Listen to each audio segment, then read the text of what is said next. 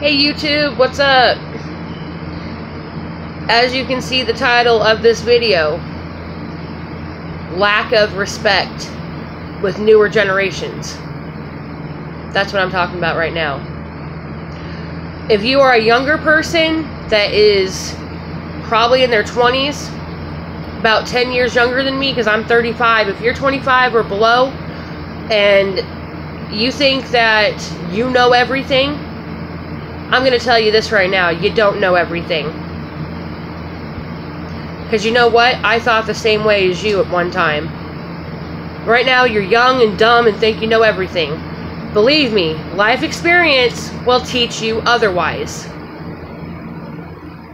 What is really wrong with these people that are in their 20s now, considering it's a whole different era of parenting now because of CPS getting involved if you discipline your children? It is wrong, considered wrong, to whoop your kids if they're bad. If you whoop your kids and you beat their butt, it is not okay anymore.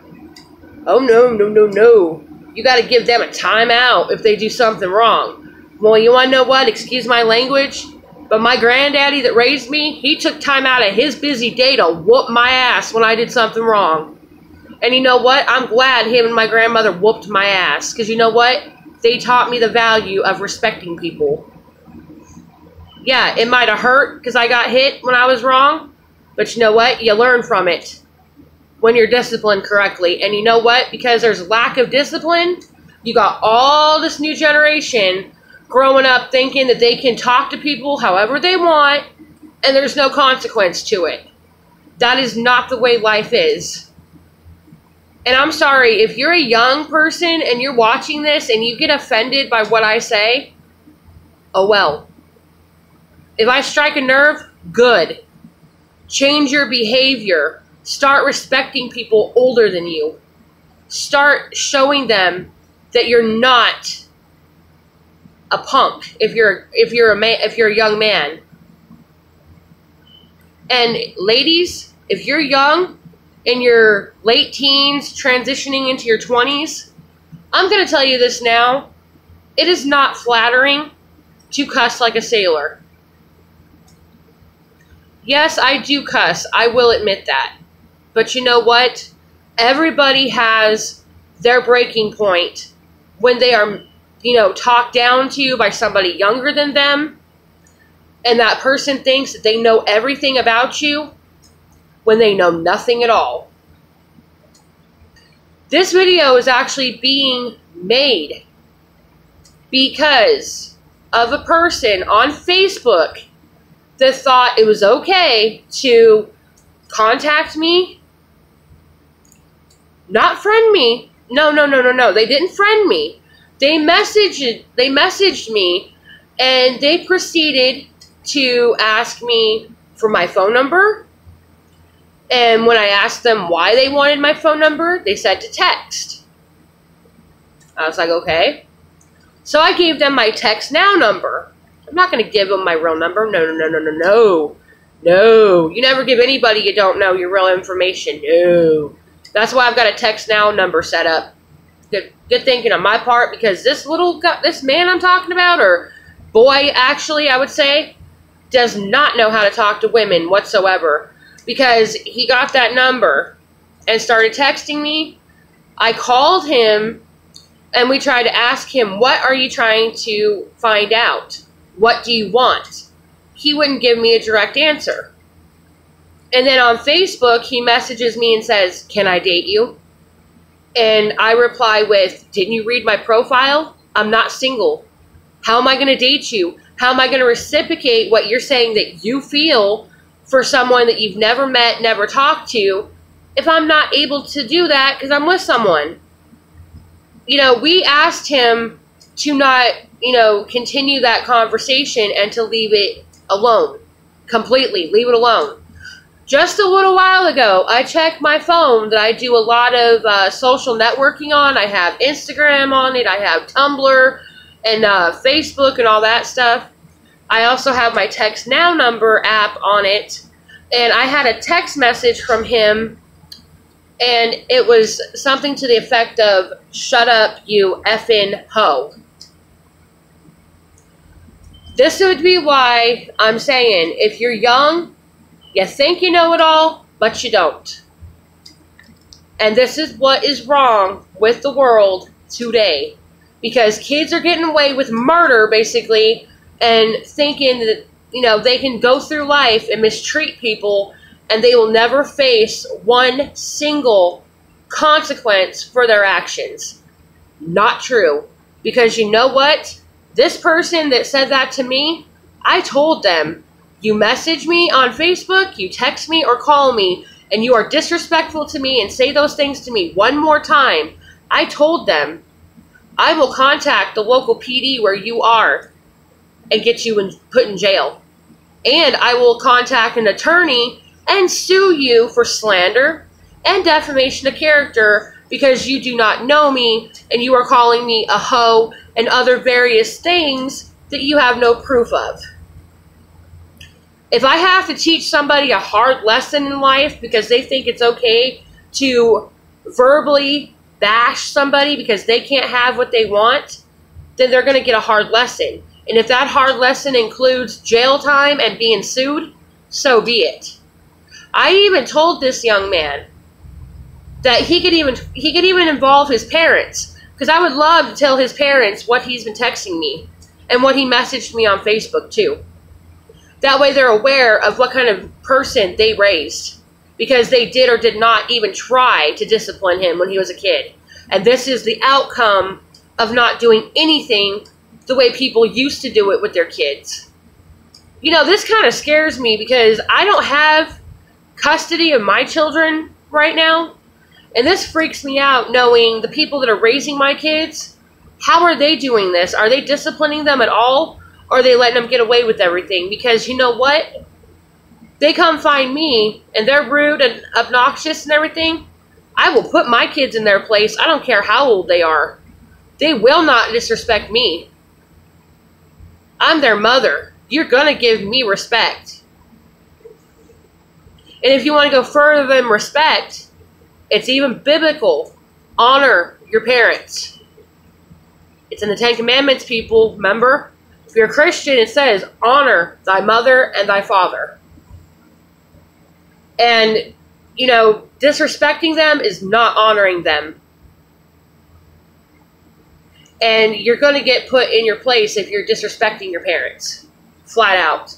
You're good if your parents are good people, they will put you on, you know, in your place because you need to learn that you can't get away with that crap and think that you'll never end up in jail or be sued for what your mouth spews out.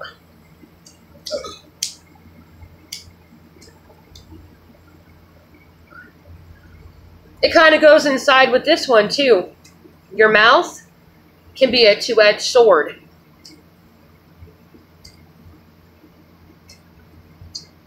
And if you're not sure what that is, maybe you should look it up in the Bible because it's in there. I'm not going to do all your homework for you. Why don't you look it up and read for yourself what God has to say about that? It's not very good. It's not very good to, you know, to be good and, you know, beautiful like roses, you know, praising God one moment, and then when you're not in church or around people that are Christians like you, it's not okay to go and verbally spew venom toward other people. That's what I mean by a sword that has two edges. You can be nice at one moment towards somebody, and then you can spew venom at them the next. But I honestly do think you should look up the biblical on that because it goes into more detail than what I'm saying, and I'm not going to go too much into the biblical because this channel does not do Bible stuff. So I will, you know, not go any further into that. But that is something I think that young people should read because it's something they should know. Because obviously, parents today are not teaching their kids anything like that. And I'm sure my husband will agree with me. Yep. You run into it day in, day out. It's not only just this guy that messaged me that's 10 years younger than me that I dealt with online and, and on the phone. It's also um, you get on a city bus, okay, this is an example I've seen tons of times. Okay, me riding a city bus. There's elderly people that ride the bus. that have walkers. that have canes because they don't get along. They don't walk around very well anymore because they're old. Okay, I've actually seen these people get on the bus and the bus be full. And you know, these young people that are sitting in these seats that are reserved for these elderly and disabled people, they don't want to move because a young just just an example, an elder elderly man I actually heard of from somebody actually asked someone, "Can you please move because I need to sit down?" That person basically looked at the old man and told him to go f himself and wouldn't move. Luckily, a good person sitting next to the disrespectful one made them get up. They physically got them up out of that seat and said, You're going to give that seat to that elderly person because they need to sit down. You are young, you are healthy, you can stand. They're not. That's just another example of no respect whatsoever for your elderly people out there. One day, yes, I'm going to be that age too. You know, I've got another, what, 20 years before then? Got another 20 years left, and then I'll be considered that way too. I don't want people treating me like that if I ride the bus. I don't want to be disrespected if I ask them to move. They should just know better and just get up and do what they're supposed to out of respect for other people. And you know what? This goes for disabled people too. And I'm talking truly disabled people.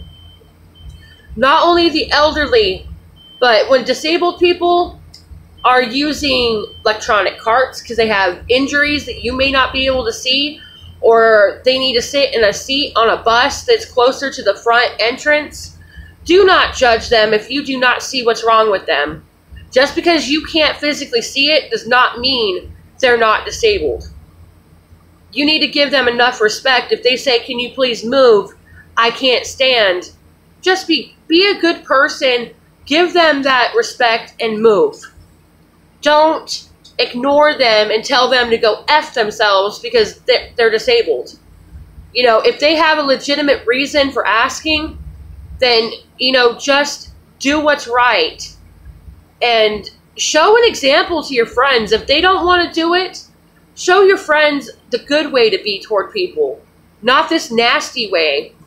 You know, I've seen it even sitting at a bus stop, okay? You look at somebody on the West Coast you smile at them and say hi, and all of a sudden they're getting up in your grill wanting to whoop your butt because you said hi. What's wrong with that? You're not being threatening. You're not wanting to hurt nobody. You're just being friendly. Friendliness has went out the window. And I don't know what's wrong with that. What is wrong with being nice to people? What has happened about people being respectful and friendly to each other? It's like the world has lost its humanity completely. Like the human being, you know, the humanity thing is like being kind and considerate to other people, treat others as you want to be treated, so to speak. And all of that has been like lost. It's like people don't think that way anymore because they just don't care. Maybe you should care, you know, maybe you should. You know, that's just my opinion though. Maybe you should care but yeah, you can also lead by example too, like my husband just pointed out. But anyway, you know that was basically what I wanted to say. Um, again, if this is offensive to anybody, I'm not going to apologize. If you want to leave me nasty comments, go right ahead because you know what? It's not going to faze me a bit because I'm not like you. I respect people that are older than me. I respect people, period. Because every person on this planet matters.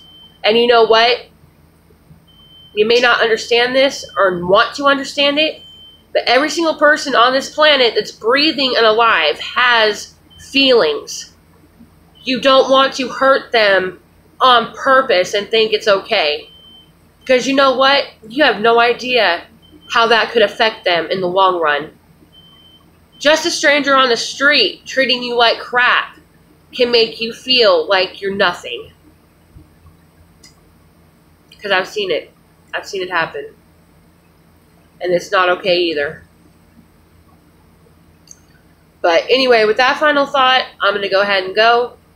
Um, subscribe to my channel if you like. Give this video a like. Give it a dislike. Send me a comment below. Um, you can message me on Kik. I'll leave my username there. Um, if you'd like to send me some mail, I'll leave my snail mail address in the description as well. I haven't received any mail, like I've said in my past videos, but hopefully that'll change. Because I would love to hear from even my subscribers if they'd like to just drop me a little note in the mail and just say, hello. That'd be cool. It doesn't have to be anything like, you know, big or fancy or anything like that. Just a little note or post postcard or something. That'd be cool. Um, anyway, I will talk to you all later. You guys have a wonderful weekend. Peace.